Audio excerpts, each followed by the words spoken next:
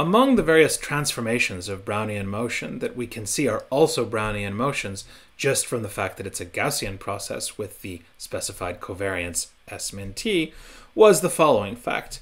Given any fixed positive time capital T, if we define the new process S little t to be B capital T plus little t minus B capital T, for any Brownian motion B, this process S is also a Brownian motion, and in fact is independent of the process B up to time capital T.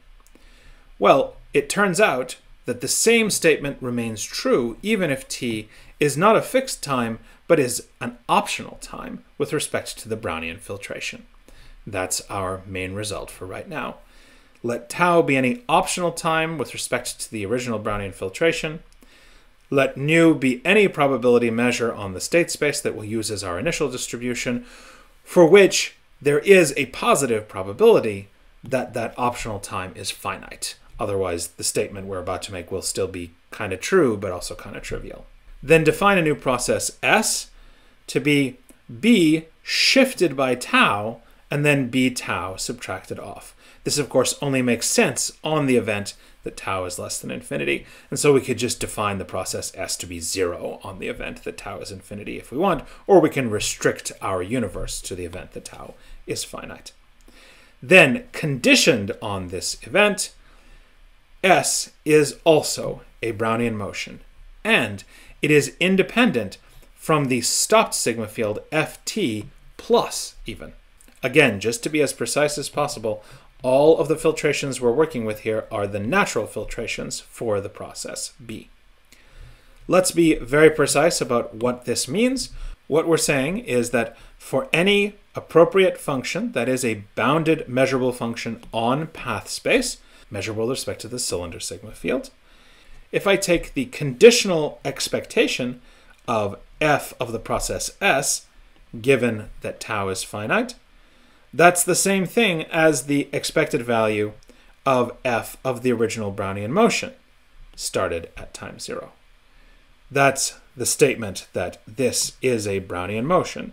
It has the same law on path space as the Brownian motion conditioned on this event. Moreover, for any event A in the stopped sigma field f tau plus, if I take the conditional expectation of any such function of the process S times the indicator of A, given that tau is finite, that's the product of the conditional expectation of just f at S times the conditional expectation of just the indicator of A, which is the same as the probability of A conditioned on tau being finite. That is the independence statement right here. We're going to very carefully prove this statement using the strong Markov property. First, we're going to abuse notation slightly. Remember that Markov shift operator theta t, which was defined to be a function on the path space, just shifting paths forward by t. What we'd like to do is shift paths forward by tau. But of course, that doesn't make sense as a function on path space. So instead, we're going to think of it as a function on the process we'll say that x tau plus is denoted as the process x composed with theta tau. This composition now is taking place in the time variable. That notation is handy because then our process st, which is defined to be bt plus tau minus b tau, can be written like this. It's b composed with theta tau at t minus b composed with theta tau at zero. But you can check that these compositions, as usual, commute with the actions on the range of the function, like adding. And so we could write this instead as the process b minus b0 composed with theta tau at time t. Now that's significant and really is fundamentally why this result is going to be true, because no matter which initial distribution we use for the Markov process b, b minus b0 starts at 0 at time 0. Now let's compute the terms that we need for this theorem. We'll compute the conditional expectation in starting distribution nu of our function of the process s on the event that tau is finite, conditioned on f tau plus. This is set up nicely to use the strong Markov property. From our observation over here, this is the same as f at b minus b0 composed with theta t, so conditioned, and also we can take this indicator function outside because since tau is an optional time, tau is f tau plus measurable. Now the strong Markov property tells us exactly that this is the same as just the expectation, starting in some arbitrary state x, of f of the process b minus b0 at x equals b minus b0 evaluated at tau. Of course, the strong Markov property holds for this process b minus b0 because that's just a Brownian motion conditioned to start at zero.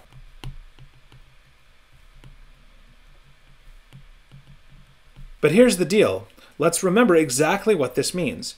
We have this process here, and we're taking the expected value of this random variable given x as our starting distribution for the Markov process.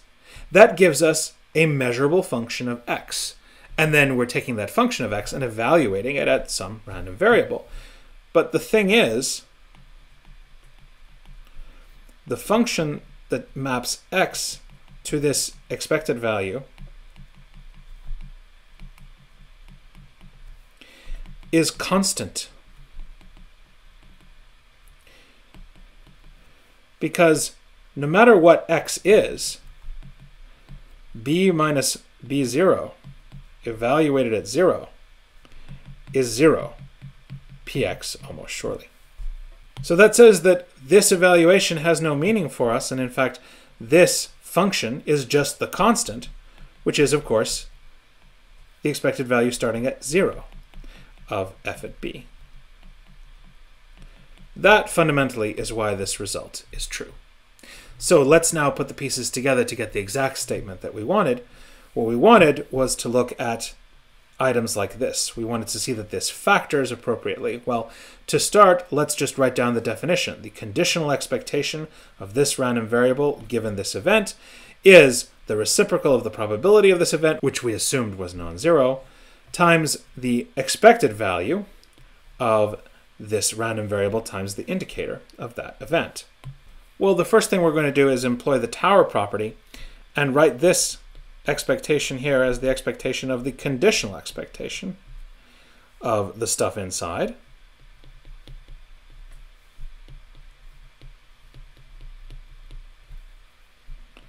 given f tau plus. Now we use the result that we just proved above, and we can write that instead inside as the expectation starting in state 0 of f at b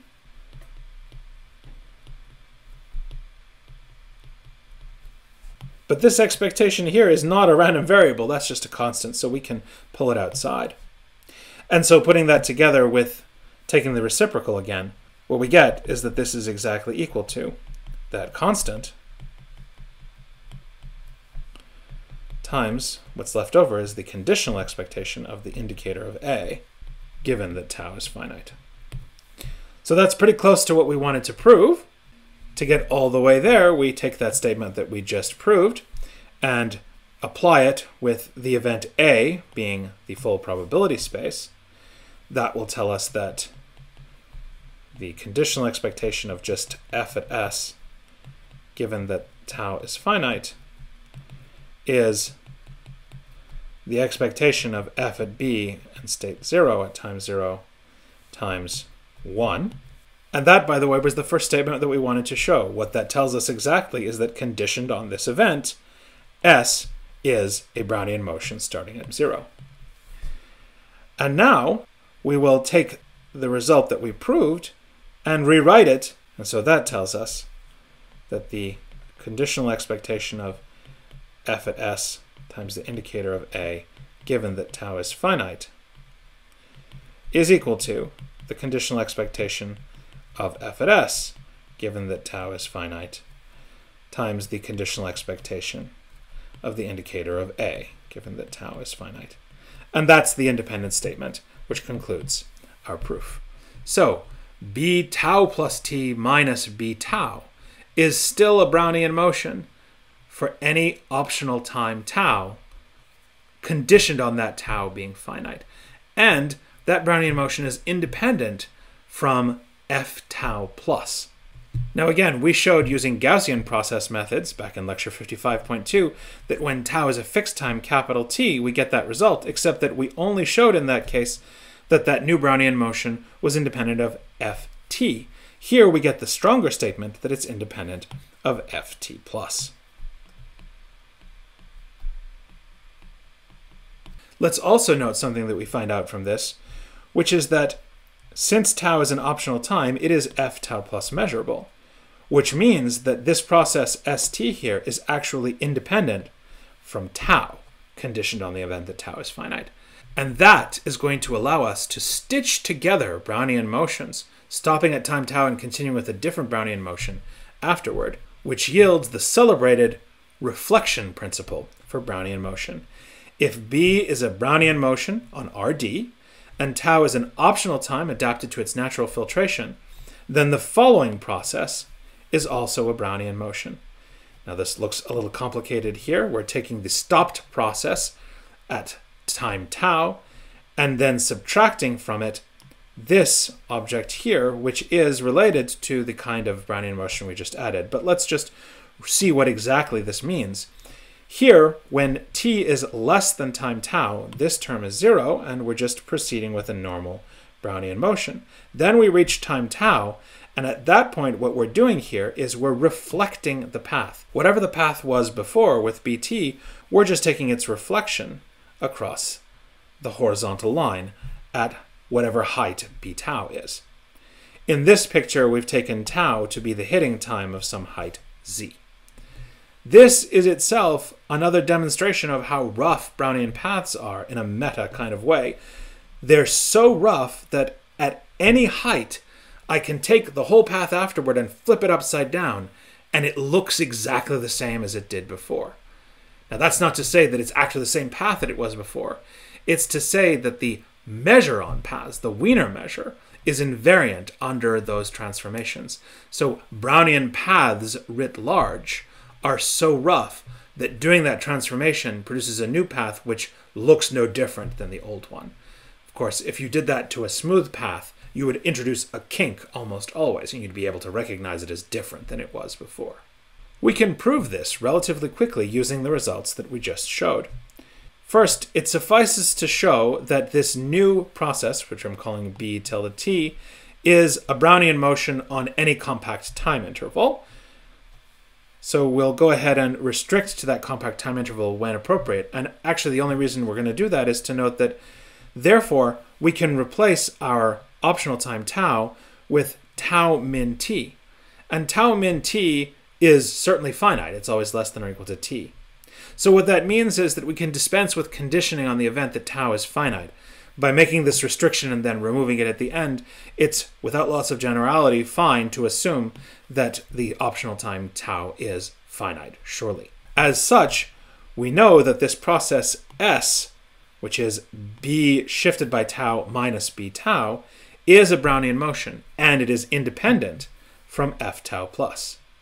Now, as we noted, tau is f tau plus measurable, and the stopped process, bt tau, which is just this thing here, bt min tau, is also ft plus measurable.